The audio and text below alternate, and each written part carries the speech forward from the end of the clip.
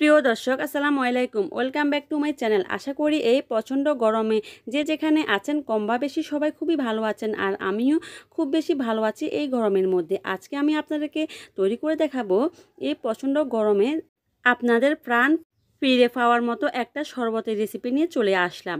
এই শরবতটা আপনারা যখন দুপুরের বেলায় খুবই গরম পড়বে, তখন আপনারা তৈরি করে খেতে পারেন। দেখবেন আপনারা খুবই শান্তি পাবেন, খুবই তৃপ্তি পাবেন, প্রাণ ফিরে পাবেন, আপনাদের প্রাণ জুড়িয়ে যাবে।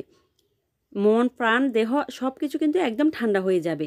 তো এখানে আমি মেজারমেন্ট কাপ দিয়ে মেপে এক কাপ পানি নিয়ে নিয়েছি। তারপর ওয়ান ফোর্থ কাপ চিনি দিয়ে আমি সুগার সিরাপ তৈরি করে নিচ্ছি। যখন চিনিটা ভালোভাবে গলে গেছে, আমি একটা সাইডে রেখে দিচ্ছি। তারপর আমি এখানে দুটা গ্লাস নিয়ে নিয়েছি। তারপর যে সুগার সিরাপ তৈরি করেছি, আমি দুইটা গ্লাসে ঢেলে নিচ্ছি, সমান সমান করে দুটা গ্লাস ঢেলে নিচ্ছি। আপনারা যদি পরিমাণে আরও একটু বেশি তৈরি করতে চান, তাহলে কিন্তু পরিমাণটা আপনারা বাড়িয়ে নিতে পারেন। আপনারা একবার তৈরি করে খেতে পারেন। এই শরবত ট্রাস্ট মি আমি বলছি, এত বেশি ভালো লাগবে আপনারা প্রতিদিন দুপুরের বেলা যখনই গরম পড়বে তখনই আপনারা এই শরবত ট্রাই করবেন। তারপর এই যে দেখুন, পাতলা পাতলা করে আমি স্লাইস করে কেটে নিয়েছি লেবু, তারপর দুইটা স্লাইস করে প্রতিটা গ্লাসে দিয়ে দিয়েছি। এবার এখানে আমি দিয়ে দিচ্ছি লেবুর জুস প্রতিটা গ্লাসে এক টেবিল চামচ করে আমি দিয়ে দিচ্ছি। আপনারা চাইলে পরিমাণে আরও একটু বাড়িয়ে দিতে পারেন। যে যেরকম পছন্দ করে আর কি, তারপর আমি চামচ দিয়ে একটু নেড়ে দিচ্ছি। এবার এখানে আমি দুইটা কাঁচা মরিচকে মাঝখান থেকে একটু ছিঁড়ে নিয়েছি। এটা ঝাল বের হবে না, তবে ফ্লেভার বের হবে। এই যে দেখুন, এভাবে ছিঁড়ে নিয়েছি আর গ্লাসে এভাবে আমি একটা সাইডে দিয়ে দিয়েছি। তো দুইটা গ্লাসে আমি দুইটা দিয়ে দিচ্ছি।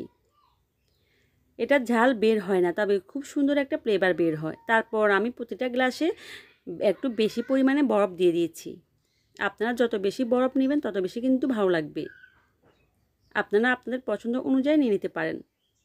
তারপর আমি কিছুটা একটু বেশি পরিমাণে তোকমা আধা ঘণ্টা আগে ভিজিয়ে রেখেছিলাম। এই যে দেখুন, ভালোভাবে ভিজে গেছে। তারপর আমি দুইটা গ্লাসে দিয়ে দিচ্ছি আর একটু বেশি পরিমাণে দিয়ে দিচ্ছি। এটা যদি একটু বেশি পরিমাণে দেওয়া হয়, তাহলে কিন্তু খেতে একটু বেশি ভালো লাগে।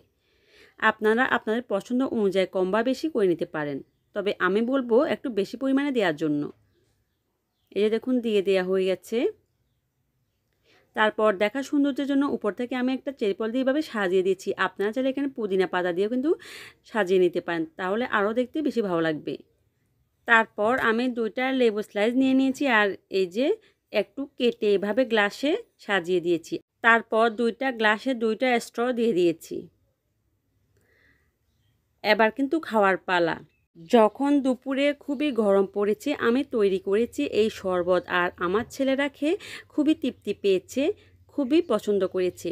আপনারা, আপনাদের পরিবারের সবাইকে এইভাবে তৈরি করে খাওয়াতে পারেন, এই শরবত দেখবেন সবাই খুবই প্রশংসা করবে, খুবই তৃপ্তি পাবে।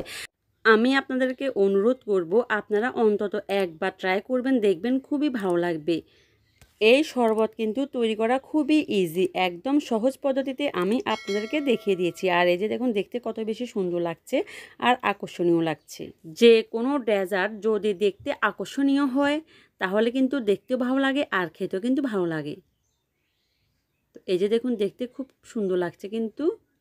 এখন এত বেশি গরম পড়ছে যে আমাদের ঠান্ডা কিছু চাই, আমরা ঠান্ডা কিছু খেতে চাই।